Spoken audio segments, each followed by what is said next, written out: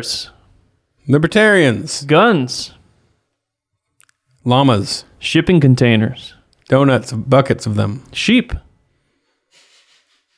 bum fights. Tabasco sauce, cayenne, Cayenne peppers. pepper. Sorry. Yeah. What do all these have to do with each other? Well, we're gonna find out today. We brought on Matthew. We never asked him how to say his name. Hongoltz-Hetling. So it's got two last names. Hongoltz-Hetling. So there was a fascinating article done about this story. uh, I think it was based on this book that uh, that Matthew wrote called "A Libertarian Walks into a Bear." It's about a small town where libertarian, libertarians decided they were going to take over, but they also ran into this issue of bears taking over at the same time and like who wins, who gets the town, bears or libertarians. And bears are more centralized. I think they have more of a government infrastructure. Yeah. gives them more power. Well, aren't they all connected? Because they're all of one mind. Yeah. Well, the truth about bears is there actually isn't. It, it's kind of a myth that there's bears. There's just there's like a god, bear god, and then it kind of disperses into smaller. Yeah. There might be multiple that, but they're too big to fit on one planet. So anyway, so that's why they can all think the same, combine. Anyway, It's like the Borg from Star Wars. I guess I don't watch that. I only do nonfiction. Oh, that's. I didn't even get that that was a joke. I knew he wasn't going to catch it. Sounds like that'd be on Star Wars, a thing called the Borg. Anyway, it was a fun co- conversation because you know it's uh, we had a he's a journalist, he's a typical journalist, left leaning Democrat guy, but he was a really jovial, fun, nice guy. He, he was weirdly obsessed with what our address was. Yeah, he asked us where we were. He's like trying to dox us. I, I don't know. It was strange. I'm just kidding. That's not true. But uh, no, it was good. Yeah, it was a lo- it was a lot of fun. And There's some fun stuff in the uh, well, he has a great story about a llama fighting a bear, so make sure you get that, and then there's some great stuff in the subscriber portion too. Got a little moving. It did. It got a the little end. touching at the very end there. People from different sides of the political divide, like together. just reaching Yeah, boop and booping each other. unpolarizing. Yep. So if you want to see us booping each Trying to other, find like a polar bear. check out joke this there. interview. Okay. Yeah. Sorry, I couldn't, Anyway, bears. I couldn't find it. Check it out. Let's do it. Well, thanks for coming on, Matthew. This is going to be a fun talk. Bears, libertarians. Donuts, firecrackers, garbage. Donuts. yeah, yeah. I saw your book on. I think. Well, okay. So I I made a book about bears, so we have that in common. Um, and so after doing that, I now get sent every bear thing that ever gets made ever on the internet, multiple times. So I had been sent when your uh, book came out. I got sent links to the story at least a few times, and then uh, you know I kind of perused the, the I perused it, and I was like, libertarians and bears. This could be good. This could be good content for the Babylon Bee because uh, Kyle is a now. I don't know if Kyle calls himself libertarian. I've always I've started to think of myself as leaning more libertarian, but uh, I love the uh, the challenge of what do libertarians do when they start a little town and bears take over. And I, I wanted to see Kyle squirm a little bit. I'll be all right. So uh, yeah, how nutty! Like uh, we're we're in the club of bear book authors. Yeah. uh, that, that's Yeah. a pretty exclusive uh, uh, set of the Venn diagram. do you get sent lots of bear stuff now too?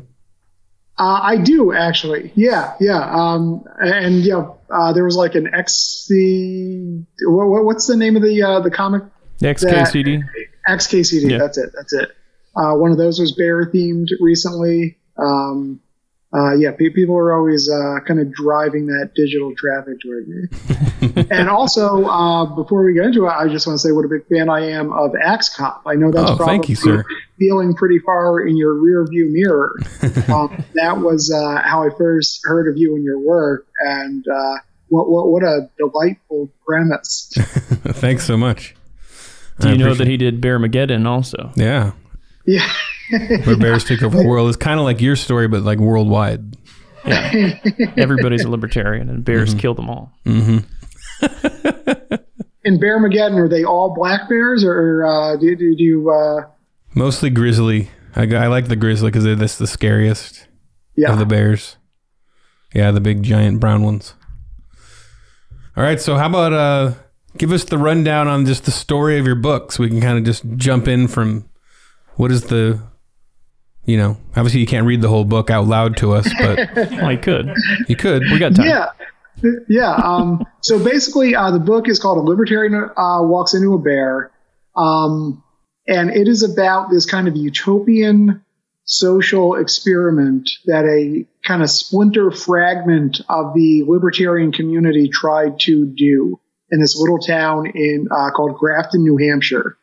Uh, so, you know, uh, the libertarian community is, pretty loosely affiliated, um, in part just because of uh, the DNA of the philosophy. I think uh, that they don't tend to march in lockstep. Um, but this idea kind of got bandied around um, uh, by Jason Sorens, who you will know is the founder of the Free State Project. Just kind of like this idea that, like, if libertarians could concentrate their voting power, uh, they could change a place in the United States to uh, be kind of like an example and a showcase of libertarian values in action. Uh, because as you guys know, there's no libertarian states, there's no libertarian countries. Um, uh, so it, it can be kind of hard to see what uh, a pure libertarian philosophy means in practice. Um, and, and so they decided to go to this small town, um, you know, a, a small group of libertarians, and begin what they called the Freetown Project. And so, kind of like in their mind, they were, you know, founding fathers or liberators. Uh, they, they came to this town and um, invited libertarians from around the country to come to Grafton, and then they worked to change the culture and the rules in the town to kind of do away with as many taxes as they could, do away with as many rules and regulations as they could, um, and kind of just like assert uh, their individual uh, rights and freedoms at every turn. So it's kind of like like libertarian Chaz,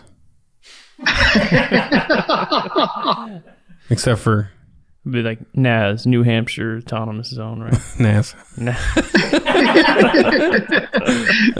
that a rapper? or Grafton, well, Grafton Autonomous Zone, Gaz. Gaz. Yeah. Yeah, I mean every every philosophy has its kind of like uh, fringe extreme members, right? And so, And those That are the ones you, ones you want building a society, right? right, right. You know, like basically, if you say like, "Hey, I'm building a utopian town," uh, who's with me? The folks who show up on your doorstep the next week are the folks who are, you know, pretty unmoored. Yeah, crazy Larry, and like cockeyed Connie. I don't know, I don't know, Yeah. nutty people. I don't know. anyway, so yeah, Do you guys know uh, Zach Bass? Uh, when when you said Crazy Larry, it reminded me of him because his uh, Zach Bass was a pseudonym for his actual name of uh, Oh, Larry. Pendarvis. Mm. my brother has a cat named Crazy Larry. That's where I got it. But Zach Bass, um, he was like a mail order bride business owner uh, who was one of these founding fathers, and he came in and he kind of like stated their goals in these really extreme terms. You know, he, he wanted he set up a website that was like, you know, we are going to uh, uh, uh, assert our right to traffic drugs and organs and um, make sure that we can support bum fights and you know uh, All the big important stances. all, all the important issues. Right, right, right. Uh, so yeah, the, the people of Grafton kind of like flipped out because you know they, they were like, yeah, go build your own town. Uh, th- this is this is our town. You know, how dare you build your utopia in my face? Um, and yet, over a period of about 12 to 14 years, they were really able to have a very strong influence on the culture and the structure of this town. Um, so what my book talks about is kind of like that social experiment and how uh, several years in, it's uh, the town started seeing really unusual bear activity, uh, and uh, my book makes the case for why this particular Bearmageddon uh, is connected to um, the, the Freetown project. All right, so Freetown Project. I've never heard of it. I know Now, about is that connected to Free State? Project. Is it like I was an offshoot? It is very emphatically not connected to the, the Free State Project. okay. Like, um, basically, the Free State Project, uh, you know, sent them messages like, get the hell out of New Hampshire. You guys are, are kind of like, Flower fucking it up. bed. Can I swear on your show? Yeah, yeah, Yeah, As it'll much as get- you want. It gets bleeped It in gets a funny way, and it's funny. People don't like don't it. piss in our water. You guys Turnip. for us. Um, uh, you're, you're just you know, you're so out there. Uh, you, you don't want to. You know, we don't want you representing us because, uh, as you know, the Free State Project. You know, they have some fairly, uh, uh, you know, as extreme as the libertarian philosophy can be. Like they're organized. They have a budget. They have funding. You know, they're really like trying to do something. They have timelines and plans uh, that they're fairly well thought out. Um, these guys were just coming in and telling a town like, "Hey, no, this is our town now." They're like like the Rajneeshis of libertarians. I keep trying to find a good analogy. Remember Antelope? Yeah. Sure. The Rajneeshi cult. They try to take over Antelope, I poison the water supply. Yeah, come on. Wild Wild Country, Netflix. Come on. He knows. No idea. He's educated. It's No the idea. uh, it's the Tiger King of the libertarian movement. that, that's a reference we'll, we'll all get. Yeah. Yeah, no. Uh, so they came in and they started trying to implement these rules and regulations, or you know, do away with rules and regulations. And so, you know, they basically throttled the municipal taxes and municipal services as much as they possibly could. Uh, and meanwhile, one of the reasons that they came to Grafton in the first place was that Grafton had a long history of like anti-tax sentiment, and they also had no zoning.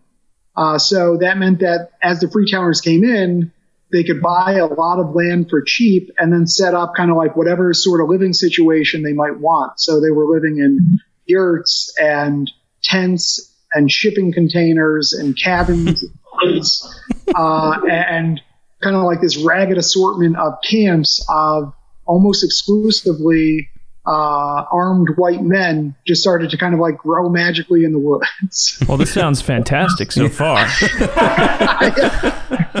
this is uh, the modern Thoreau. Um, Did they have bags of Sprite? Like a Chaz? like Chaz had bags of Sprite, and that yeah. really gave them a leg up. so, um, so they uh, successfully build a bunch of these uh, oddball places in the woods. Uh, they are cutting town services. Uh, you know, Grafton had like one uh, full-time law enforcement officer, the, the police chief, who was voted in every year, right? So it was like an elected position, and he had to get up at town meeting and say that he hadn't been able to uh, do his job effectively for a couple of months because his only cruiser uh, had badly needed repairs and he couldn't afford to make it safe for the road. Some of the other impacts were uh, they shut off their street lights because they didn't want to pay for electricity bills. Uh, dramatically cut back on road maintenance um, uh, so that you know like potholes kind of got out of control very quickly. Uh, and this wasn't like a big community in the first place. They only had like a thousand people, and uh, they always kind of go uh, thrifty. That, that's kind of like the New England Yankee mentality, anyway. Uh, so it wasn't like there was all sorts of uh, money that they had to like stop the expenditure of. Can you hear my cat? I can, yeah. I know, is it bear or Sounds like your cat's um, defending This libertarian cat- values. 20 years old, this cat. Wow. this is my ancient cat. hey, hi, kitty. Hi. hello, kitty? So the bears show up. We got to get to the bears. Yeah, yeah, yeah. All right. So basically, uh, when you have a bunch of oddball living situations in the woods, each one of which is managing its own food in its own way, and each is managing its um, sewage and food waste in its own way, and each is dealing with bears in their own way. What you're basically saying to bears is, every place is a puzzle, and if you unlock this puzzle, you will get the caloric reward, right? So the bears um, looked at it and thought, we could make our own Chaz. Here, Baz. Baz. So Tell they just saw a buffet. Yeah. It's like a golden corral opened up in the middle of New Hampshire. So you had some people that were shooting them, some people were feeding them, some people were. Yeah, yeah, yeah, uh, yeah. Like in addition to like the unintentional feeding that like uh, non-standardized food storage systems uh, created, um, they had all sorts of uh, folks who were kind of asserting their right to feed the bears. Uh, so just for kind of like the pleasure of watching them eat. Uh, so there's one anecdote in the book about two elderly women who live side by side. They're neighbors on like a wooded hillside. And one of them when the bears start to get out of control is completely terrified. And she's like she won't leave her house without doing a bear check. Um, she's like hearing noises in the night at the front door and thinks it might be a bear and like getting her gun and going to like check it out. Uh, she's uh, when she cooks meat, she won't leave the house for several hours because she doesn't want to smell like meat and therefore tempt the bears. Meanwhile, her neighbor has been feeding the bears for like 10 years. Oh. and her neighbor, uh, who wanted to remain anonymous, we, we call her Donut Lady, uh, established this routine where every day, twice a day, she would go out with two full buckets of grain topped by a pile of sugared donuts. And she would kind of like totter out there, and there would be uh, Ethan, do you know what a, a, a group of bears is called, being a bear book author? Yes, I do, but I'm blanking on it right now. A sleuth. What's that? Oh, sleuth. Yeah, sleuth. That's right. So, Are you even a bear expert, man? I know. It's been a while. I'm working on other stuff. There's a sleuth of bears waiting outside Donut Lady's house. Oh, wait. How did she come up with all those donuts? Every twice a day, a bucket of donuts. Yeah, she wouldn't tell me how much she was spending. She's like Willy Wonka or something. She must have some magic donut factory. That's crazy. Someone told me like yeah, like uh, she she would like back up her truck to like the local grain supply store and just yeah like loaded in. That was the only way she could keep pace with the demands. So she saw herself as the Snow White of bears. Sing a little song, and the little woodland creatures would come. And, But it's all bears. but it's just bears. So it really showed me how like two people can live like side by side with totally alternate realities and perceptions of the same exact phenomenon of Yeah. a bunch of bears, right? Like one woman was living in the fairy tale, the Snow White uh, story. The other was living in like some horrific wilderness-based horror movie. Like misery or something. Yeah, misery, right? So the so the timeline here, it took them like ten years. Like they took over the town, and then Yeah, there was like a decade of because you said you project? feed them for ten years. Yeah. Um, Like is she one of the people that came to the town as a libertarian? no, she was not a Freetowner herself. You know, she would probably describe herself as libertarian leaning. She's probably a commie. but she was just one of of several uh, uh, folks who were feeding them. Some of them were Okay. the Freetowners. She was kind of like the longest standing and maybe most famous example in, in the town because she just had such a, a pack of admirers uh, in, in the Bears, and like she was literally like within, you know, like she could touch them. Like they would crowd, you know, like a dog crowds you to be fed Yeah. you know, bring out its dinner dish. You know, she was like, you know, like, go away, go away, uh, just to clear a little space for her to be able to set their food down. Wow. And like how many bears would show up? Um, I, I one woman told me that like when she drove by the house and she looked back down into the yard, like it was just like thick with bear. Um, Thick with I bear. think, You don't even use the plural at that point. They Yeah. do. They are Yeah. able to meld into each other and become one giant, like kind of bear loaf. Yeah. yeah, yeah, it was the Bear Collective. Um, but I'll, I'll guess, you know, something like uh, eight, eight to twelve. Wow. Uh, and they didn't even hibernate because they didn't have to hibernate uh, through the winter because they had donuts on tap. Wow. She. Wow. She messed up their circadian rhythm. Yeah. so Wow. Donuts. Yeah. So, um, and also kind of like exacerbating the problem was the libertarians uh, and the Freetowners did not kind of truck with government. Uh, they tended not to take advantage of the state fish and game like wildlife conflict resolution process. So, like ordinarily, if there's a bear that gets a little uh, clausy, uh, you can call uh, and they'll come and uh, you know, kind of like assess what's going on. And if there really is a problem there, they will make the call to either kill or trap it. Mm-hmm. Uh, but in this case, those those folks weren't getting called, or you know, maybe that uh, warden will tell the neighbor, "Hey, stop putting out bird seed. You know, you're attracting the bears, or, or whatever mm-hmm. whatever the human source might be." Uh, so bears just got nuts in this town, um, and even though the state of New Hampshire had not had a bear attack in probably 150 years leading up to the Freetown Project. Um, since the Freetown Project began, uh, there have been three bear attacks, all clustered in this Grafton area. Uh, the hmm. first one uh, right in Grafton, and then the subsequent two in uh, towns that kind of neighbor Grafton, that are within a, a bear's territory of Grafton. A bear's throw. Something I don't know. Yeah, how far can a bear throw is the question. Mm. So, when did you hear about this?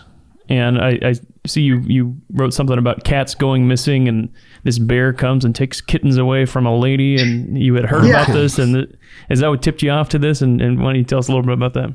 Yeah, I was just like a small town reporter working for my daily uh, newspaper, uh, support local independent journalism. It's important. Um, and they um, they sent me to do this story about a Vietnam War era veteran named Jessica Soule, and Jessica was having a hard time getting the VA to um, uh, make her house accessible. So she kind of like couldn't really safely access her own bathroom or her own upstairs, and she was in this like uh, protracted disagreement with the VA trying to resolve that. Uh, so I went to her house uh, to interview her about that issue and she had a bunch of cats. Uh, so I was kind of like chit chatting about the cats, and uh, she says, "Oh yeah, uh, I used to let them outside, but that was before the bears came." thunder. Who cares about the VA? Tell me about the Bears. I've I, have i have never heard that particular you know arrangement of words before. Uh, Just as an aside, like mm. totally burying the lead. yeah yeah, before the Bears came and attacked the entire town. Yeah, you know this VA thing. it's like you're, you're um you're interviewing someone about like cheese or something, yeah. and they're like, "Oh yeah, yeah, but uh, that keeps the aliens away." Yeah. You know, like what? And so that got me asking questions about bears. Uh, and so I started talking to her neighbor. Oh, and actually, she'd had like this horrific uh, series of encounters with bears, where the first one was the one that you mentioned and alluded to. Uh, she's like out on a picnic table in her backyard, and a bear comes breaking out of the uh, underbrush just a few feet from her, snatches up two of her kittens, and eats them like in front of her. Oh my gosh! Uh, Didn't go for the picnic basket. did, did not want the picnic basket. Maybe it was coming for her and like lost its nerve. I don't know. Um, but uh, my, my editor asked me to remove a, uh, a sentence in the book, which I did.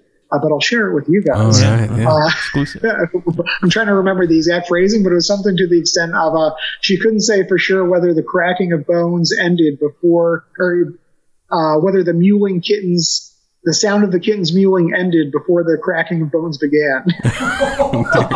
That's dark. Yeah. yeah. So they're okay with keeping in the humans being murdered by bears, but not the kittens as much. right. Don't get That's too right. graphic with the kittens. um, and so, you know, she had, uh, you know, bears trying to force their way into her house at one point. Uh, and she also had this thing where she was, yeah, and she was in a wheelchair, um, uh, related to her, her service. And she at one point, um, you know, like had to start arming herself to go to her mailbox in her front yard because you know, she never knew like when she was going to hit a, an angry bear out there.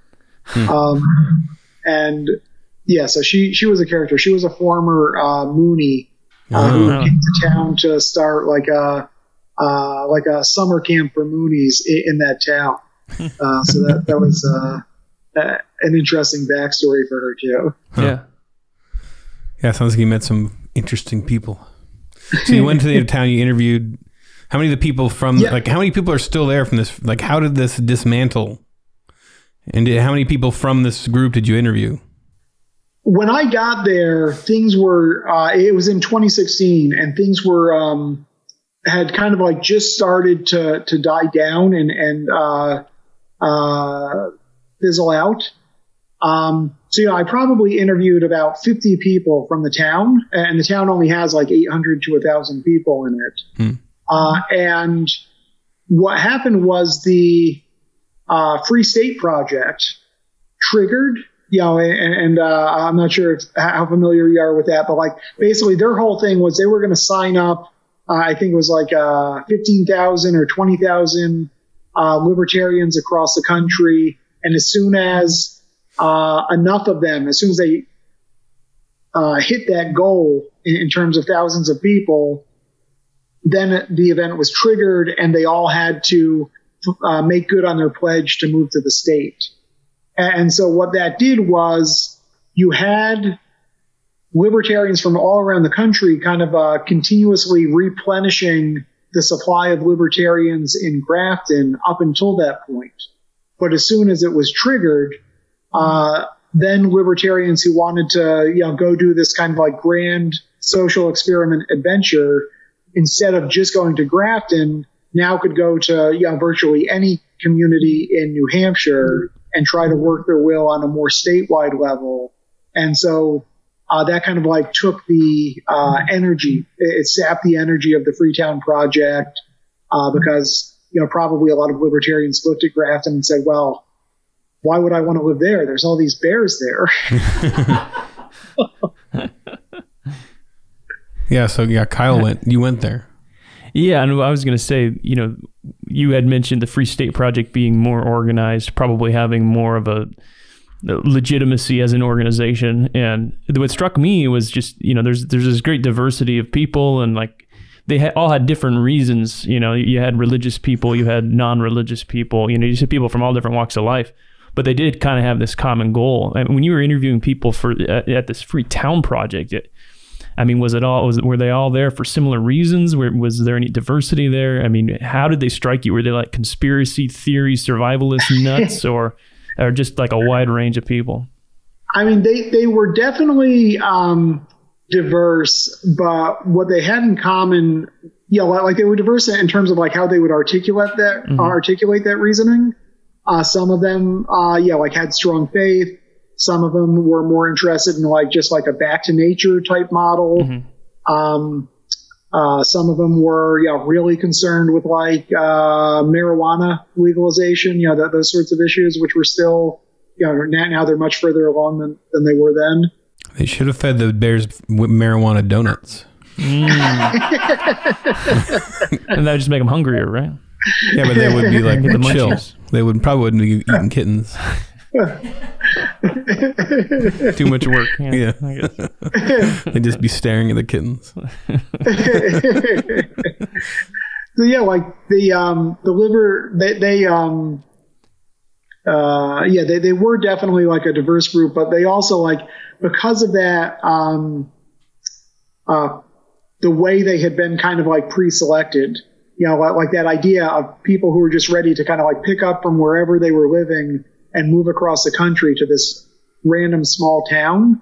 That was kind of like the the defining feature was that they all were very kind of like uh, individualistic and, and unmoored. Did many of them have kids? Very few. Okay, I was gonna, I was Um, gonna yeah. say. yeah, They and you know had they were- they tried unsuccessfully to get Grafton to withdraw from the school district, you know, which Hmm. was a multi-town school district. Uh, they tried to have the town of Grafton declared a, a United Nations free zone. What is that? yeah, wait. Just just in case the United Nations was thinking of coming to Grafton, their money is no good there.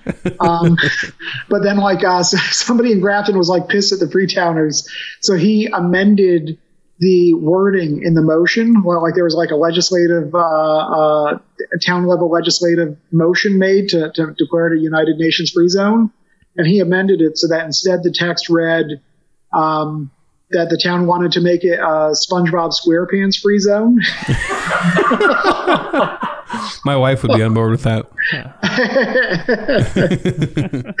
uh, and there, there was one character in the book in particular who I'd love to get your take on, um, because I know you guys have strong faith, right? Yeah. Ironclad. Ironclad. Ironclad faith. I love it. Um, Untoppable. Yeah.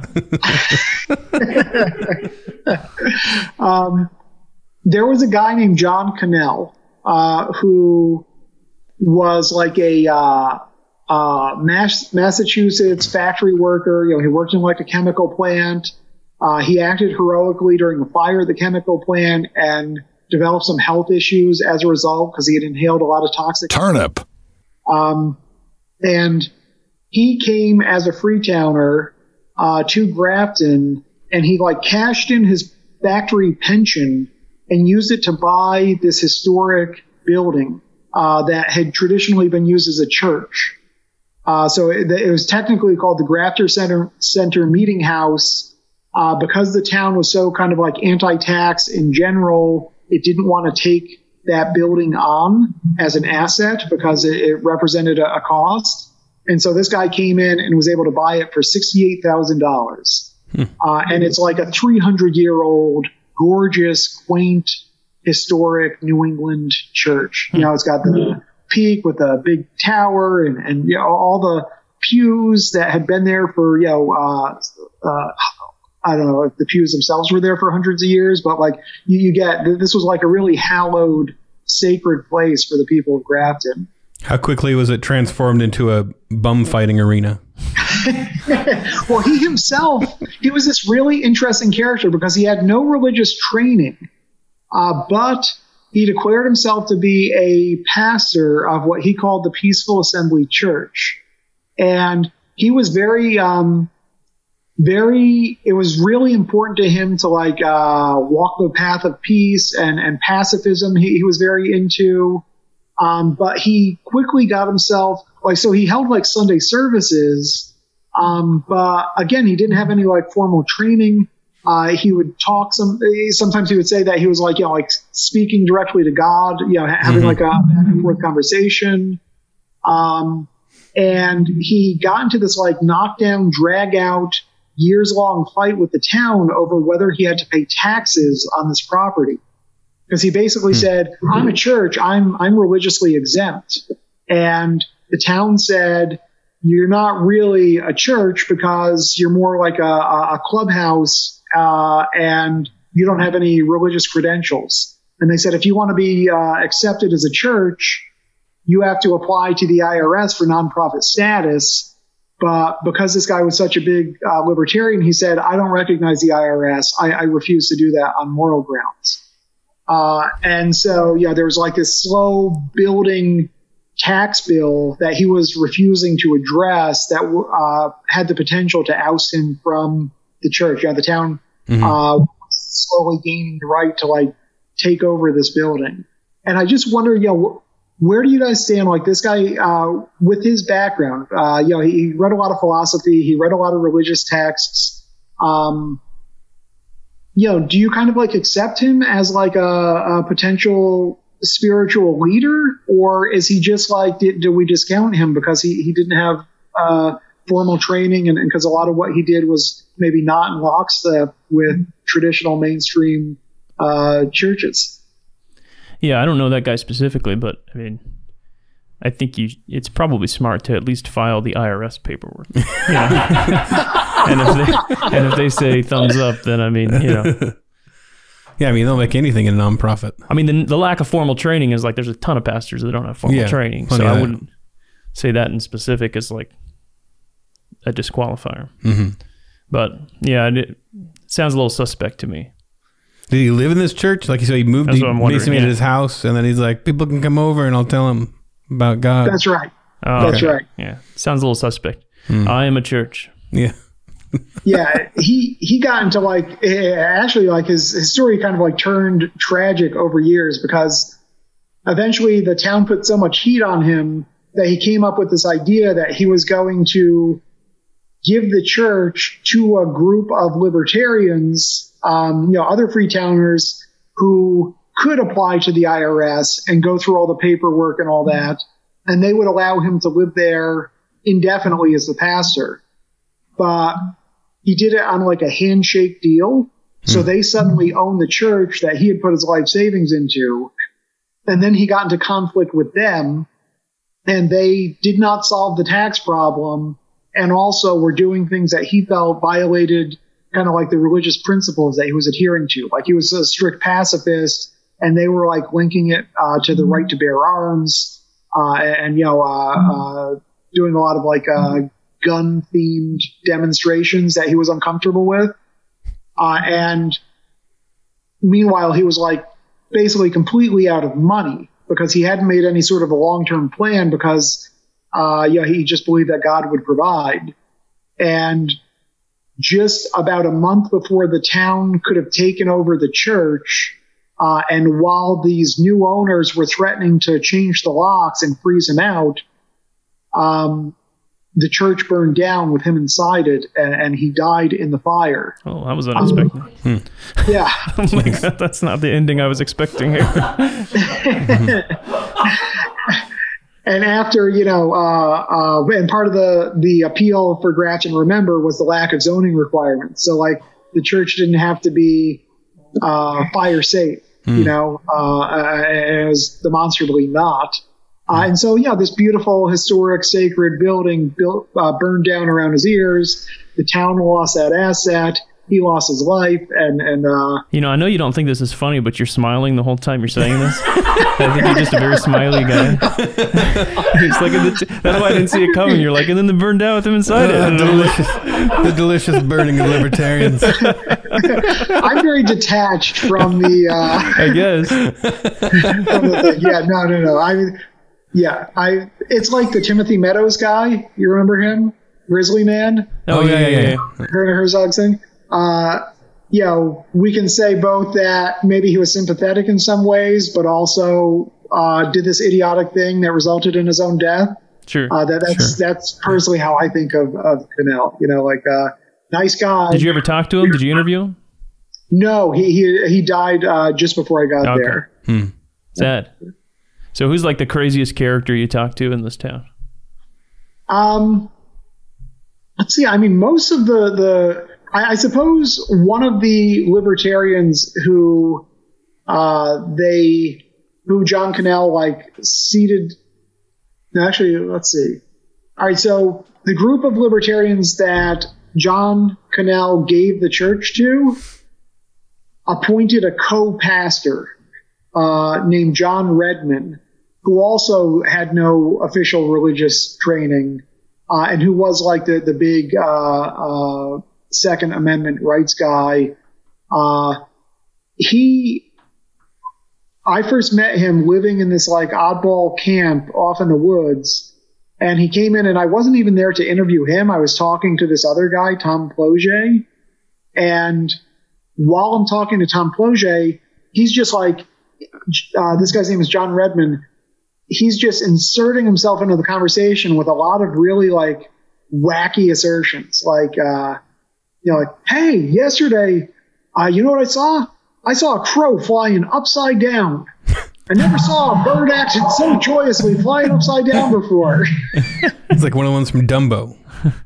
And I'm asking, you know, this other guy, like, yeah, so what does li- being a libertarian mean to you? And, and, uh, you know, what, what, have you had any interesting bear encounters? And then he's like, hey, I saw these, uh, bird tracks the other day in the woods that were bigger than a man's hand and they weren't turkeys and I don't know what the hell they were. uh, and then he like, like slapped a, a, a package of bullets down on my uh, car console at one point because we were interviewing in the car because the mobile uh, home that they lived in had some other guy sleeping in there. Um, had bears. Yeah. yeah, yeah. And he uh, he also like his the, the the Freetowners all had their own like bear favored bear deterrent methods. So like one guy built booby traps, another guy threw firecrackers at like them. Home Alone with bears. yeah, yeah. and so this guy's uh, thing was uh, he when he put out his food garbage, he covered it in cayenne pepper. So that Tabasco sauce on there. That's expensive. yeah, I, yeah. He said he bought him a uh, restaurant-sized bulk container of it. I love that the bears are having to explain. Okay, you go to that house, you eat the food. There's covered in cayenne pepper. This one's covered in donuts. So always go go to this house. Word got around in the bear community. Yeah. Except for the bears that are like into spicy stuff. Spice lords, what do they call them? Guys that like hot stuff. Yeah. Hot wings, guys. Bears. Yeah, the bears. There's a bear expert who lives uh, in New Hampshire named Ben Kilham, uh, and he's uh, kind of. Your last name. Kill 'em. he was uh he was kind of like the bear whisperer in that uh uh uh documentary about pandas that came out maybe about a year ago with uh Kristen Bell narrating. Mm-hmm. Um, and so he I he wrote a couple of books on bears that I read, and he asserts that bears are like so amazingly smart that you know we think of them as these like kind of like solitary, brutish thugs off in the woods, but he says that they are actually smarter than apes. Um, yeah, meaning that like you know if, if they had fingers instead of paws, they could do sign language better than Coco the gorilla. Uh, that uh, they have they can count to like 13 uh, that they they have a real a lot of gray matter that allow them to like problem solve um, and that they even have like a social justice system so if a bear kind of like transgresses I was wondering if they were like Antifa. That's why they saw these libertarians show up in their town. So that makes sense. They have a social justice system. that's right that's right I don't think that's the social. Uh, I don't know that kind of social. Sorry, sorry. they're, they're, they're bear warriors. They're, they're, they're social warriors. Um, and then they can like, you know, like adopt each other's cubs when there's like a need, but they'll only do that if it's a relative bear. I, I don't know. Yeah. So they're, they're like, uh, they're, they're wicked smart. They also eat people's faces off. and like the, all the skin off their skull. I guess they're probably trying to eat the whole head, but it just they in bear attacks, people was like, Yeah, I could hear the grinding of the teeth on my skull. Oh my God. Oh. Sorry, that was just, I don't know why I added that. I'm surrounded by psychos. This is crazy. That just popped out. I don't know why. I, I, I read a lot of bear attack books in preparation for writing Bearmageddon, and there's all these stories about how like like a guy would shoot a bear in the heart, and the bear would still like fight and kill people for like 20 minutes before it died. Like they'd like look at the bear and find that the sh- the heart had been shot, but just kept going. I don't know how scientific that is, but uh, yeah, any of that. Did that ever happen? Some of the, the historic stories in that region were pretty wicked because, you know, uh, you know, the, the settlers had, you know, Porpoises. guns, I suppose. And so there were always stories of like bears snatching kids and, you know, fathers trying to shoot the bears to, to stave them off and it just kind of not working. Um, uh, Yeah, there's stories of bears attack getting the people's gun. Like they'll knock it out of their hand, they'll bite it and bend it or whatever. They, They grab Yeah, the barrel yeah, and yeah. then turn it yeah, like they get bend it like RoboCop. Bugs Bunny or whatever. Or Robocop. got time for yet another bear story? Yeah, absolutely. Yeah. That's what we. That's what we brought you on for. Well, I mean, I now I feel kind of like uh, inferior because your bear stories all have more serious and dramatic consequences than my bear. I have like bear uh, envy, bear story envy. I have the advantage of that. I just made up the whole book. still, still, that does help, I suppose.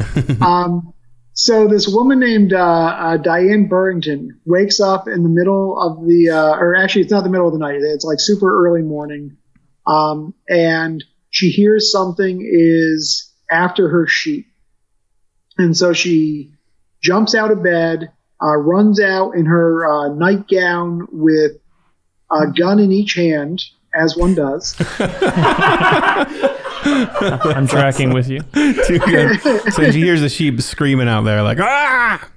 That's how she knows something's chasing them. I'm just trying to. And she hears the rustling. Well, yeah, like she didn't know what it was. Yeah, bear was on the on the menu of possibilities. enough to get two guns out. Yeah. Yeah, two guns. Yeah, she, she doesn't mess around.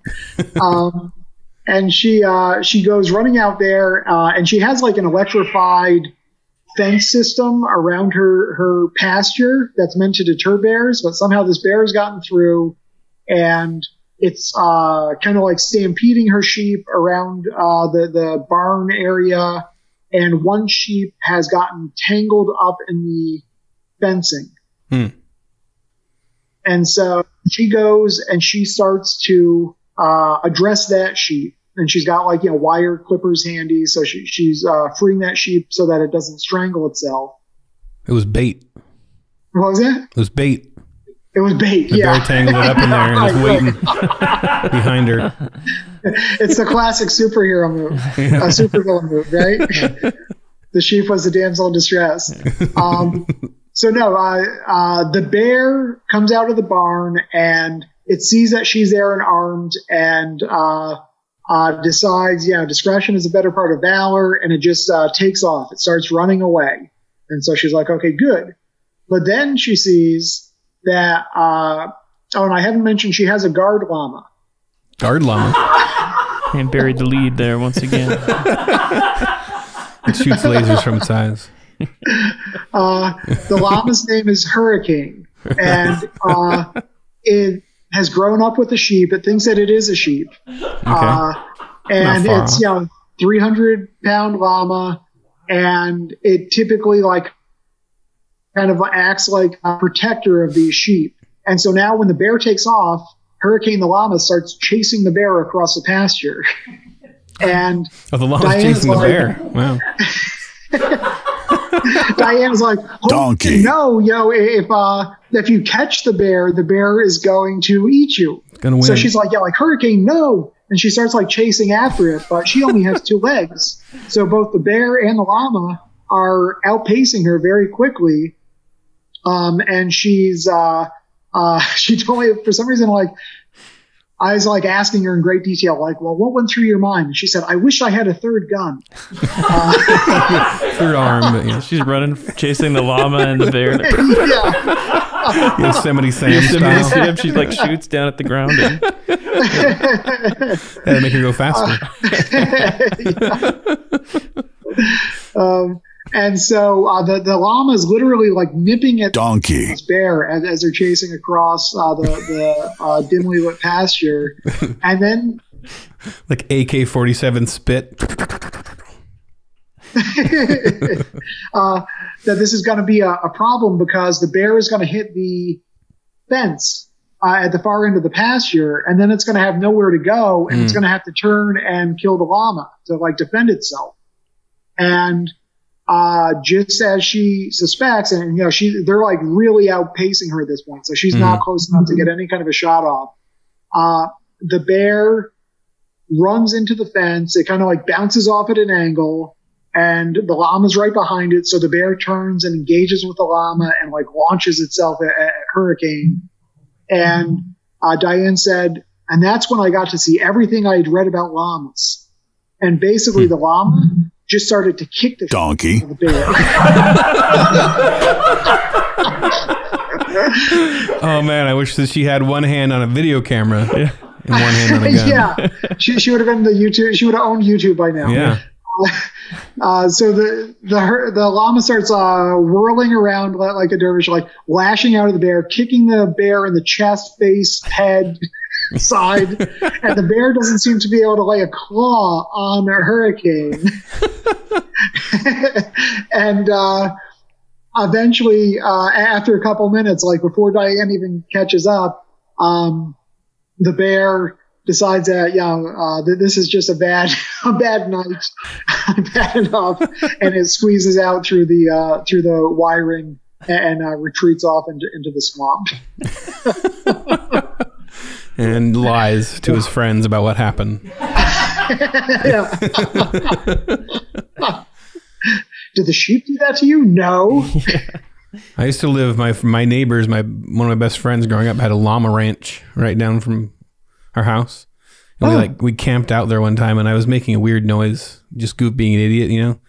And I had I had accidentally figured out the noise that llamas make during mating season because this llama down below that was in the mood or whatever just started making the exact same noise at me in the dark in the distance.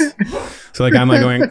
I think I was like impersonating a giant seagull or something in the context of whatever I was doing. I was like, and then all of a sudden, like I hear it, and like you could see a silhouette of this llama going insane down there, like thinking that there was some, I don't know, some rendezvous in the woods that it needed to get to. we died laughing. That was, that was pretty awesome. Well, I wonder if there's uh, gainful employment for a uh, uh, someone who can do a llama mating call. And it feels like that should be a useful skill somehow. Could be a llama breeder. Yeah. yeah, get him going. he was excited. Well, do we want to do a subscriber Yeah, portion? we can do it. Yeah, we, we we have a so we do a subscriber portion that's behind a paywall. Uh, we can talk a little more freely, and um, and then we have our ten questions we ask every guest, All right. which are often funny because they're geared towards Christian guests. So sometimes they're funny; they just confuse people. Though I don't know, we just assumed your faith. We don't know what your position is. We don't know where you come from. Uh, I, uh, uh, yeah, it makes me uncomfortable talking to you guys knowing that you have strong faith. I have no faith. Um, Okay. I, I'm, uh, We've had other, we have atheists on. People are agnostics. good, good, good. Yeah, no, it's all, it's all good. Um, uh, uh, so, uh, are we now in subscriber? Uh, Uh, But first, let's let's hawk your book. all right, let's do it. purchase the book, everybody. Libertarian walks into a Libertarian bear. walks into a bear. yeah, The utopian plot to liberate an American town and, and some, bears. bears. They're trying to liberate the bears. Oh. All right. Well, with that, goodbye, Subscribers. goodbye, freeloaders. Goodbye, freeloaders. Subscriber portion. Here we go. Coming up next for Babylon Bee subscribers. Can I ask you a final question? I'm just curious. Uh, Question 11. Is Yeah, it- this is final different tab? in the list. Your Twitter bio is intriguing. Okay. Stock boy to server to business owner to poker player to cabbie to social worker to Pulitzer finalist and award winning journalist. Little newspapers from like the 1800s. They just get Hacksaw. Enjoying this hard hitting interview? Become a Babylon Bee subscriber to hear the rest of this conversation. Go to babylonbee.com slash plans for full length ad free podcasts. Kyle and Ethan would like to thank Seth Dillon for paying the bills, Adam Ford for creating their job, the other writers for tirelessly pitching headlines, the subscribers, and you, the listener. Until next time, this is Dave DeAndrea, the voice of the Babylon Bee.